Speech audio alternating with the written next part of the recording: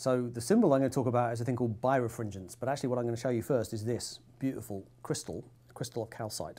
That is a big crystal. It's an enormous crystal. It's actually just calcium carbonate, so it's the same stuff that limestone and marble are made of, but just in some places in the world it just forms into these perfect uh, crystals of calcite. It's kind of also called Iceland spar because I think the first first found in, in Iceland.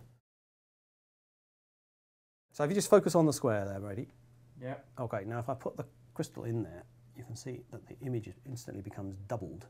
It's a strange property of this particular uh, type of crystal that it creates kind of double images of things. But there's another even stranger property, which is that these are now, the individual images are each polarized, and I can show you that by sticking a sheet, this is just a regular sheet of Polaroid, and if I get this just right, so some angles we see both images, but as I rotate it around, sometimes you'll see one image, and as we keep going around, sometimes you'll see the other image. If I come back the other way again, there we go, they fade between one image and the other, and that's because one of the images, the light is polarized in one direction, and the other image the light is polarized in the other direction. Can you hold the crystal? I want to see if I can get Can your do face to double. Hang I don't on. know if it. I, yeah, Yeah, yeah, it doesn't on. work so well. Hang on. Yeah, it's where. Yeah. You wanted to see the try and do the thing with the Polaroid as well. Go on. Let's see if we can do that. Okay. I just rotate it around. Yeah, that works. Cool. You to explain it? Okay. Check it Alright, out. so you need go. to sit down for this. Okay, so it's a thing called birefringence, and it's to do with refraction, uh, which is the property of material. Uh, every material has a refractive index, and it's basically it's to do with the speed of light. Right, the speed of light in a vacuum is always the same, 300,000 kilometers per second, but the speed of light through different materials is different. Um, the, the, basically, the speed of light slows down in different materials. And essentially, it's because as the light's traveling through, light's this electromagnetic wave that's wiggling around, the electric fields are wiggling around, that makes the, the electrons in the, in the material wiggle around as well. And as they wiggle around, they produce electromagnetic waves of their own, which kind of combine with the light that was already passing through. The net effect of all that is to make the light, as it travels through, slow down. And we use this all the time. I mean, it's why uh, lenses work, why lenses bend light, and so on. And the reason why, so if we have to go back to our crystal here, right? So if we've got light approaching this crystal, as it approaches, of course, if it's not, if it's face on, then all the light hits at the same time. But if it's coming in at an angle, then some of the light hits first, and then the, the rest of the wave hits later on. So as this first bit of light hits, it slows down, uh, but this bit up here that hasn't hit the surface yet is still going at the same speed. The net effect of that is like if you were to drive through a puddle in your car, right? Only and the puddle only hits one set of wheels. What tends to happen is the wheels on that side slow down, and you'll find your car tends to try and turn that way, right? So it's just the same with light. The light hits here. The bit that hits first slows down, and the net effect of that is that it turns the direction of the light. So one of the effects of glass of, of light hitting a surface like this, where there's a refractive index in this material, is it changes the direction in which light's going. Okay, that's this effect called refraction. And that's how prisms work and lenses work and all sorts of things like that. So that's, that's a, a well-known phenomenon. The interesting thing about this particular material is it has different refractive indices, so it slows down the light by different amounts, depending on what the polarization of light is. So one polarization of light gets slowed down more than the other polarization of light.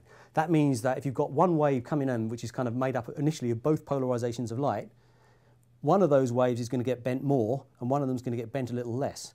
And that means that as the light travels through, the images of something that you're looking at split up because the, the, the light gets shifted by different amounts on, by, in the two different polarizations. So what? How is that possible then? How come that material does this magical thing with light and your window there doesn't? It's to do with the crystal structure of the glass. So this is a calcium carbonate crystal. Calcium carbonate has this rather particular structure. I'll show you a picture of it here.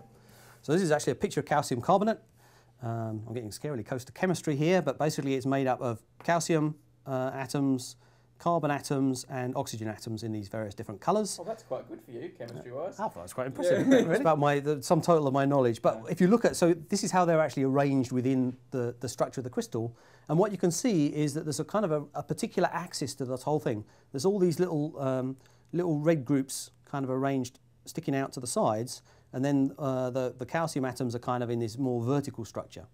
And so you can see there's kind of an axis that runs up and down this particular thing in this direction here. And so you wouldn't be terribly surprised if the properties of this material, so remember what happens is a light wave goes through, so imagine I've got my light wave jiggling, electric field jiggling backwards and forwards as it goes through this way. Okay, as it goes through, it's going to shake these atoms in this direction and shake their electrons in that direction. And it would, because of the structure, the very strange structure of this thing, it wouldn't be too surprising to, to learn that actually if you try and shake these atoms in that direction, they react differently than if you try and shake them in that direction. And that at the microscopic level is the reason why the refractive index of these two polarizations of light, one with the electric field jiggling one way and one with the electric field jiggling the other way, are different. And that's why the light propagates through in a different way. And in fact, since this is 60 symbols, I can even give you a symbol for this. Um, it's called the birefringence, and it's actually called delta n, because n is the symbol that's usually used for refractive index. And what you're measuring here is a difference in refractive index, so it's a delta for a difference, delta n. You're seeing the light, so really you're seeing two images because the light that came into this thing and kind of was reflected off that blue square, and so the blue light was reflected back to you. One set of that blue light followed one set of paths through that crystal, and the other set of blue light followed another set of paths, and they end up offset from each other, so you see the square in different places. I mean, the light that's, that's filling this room is basically unpolarized, but one of the things you can do is you can always split light up. Okay, this light is kind of you know randomly polarized, but every little bit of it actually has a polarization. At every point in space, the light is, is oscillating in one particular direction. And we can always break that an oscillation in that direction into a little bit in that direction and a little bit in that direction. So you can always break it down into two individual polarizations.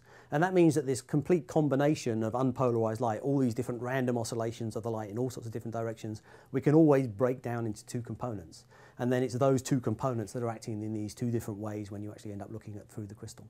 Like it's it's xness and it's y-ness. It's xness and it's y-ness, exactly. Wow. The squares move. Wild. What's going on there, Mike?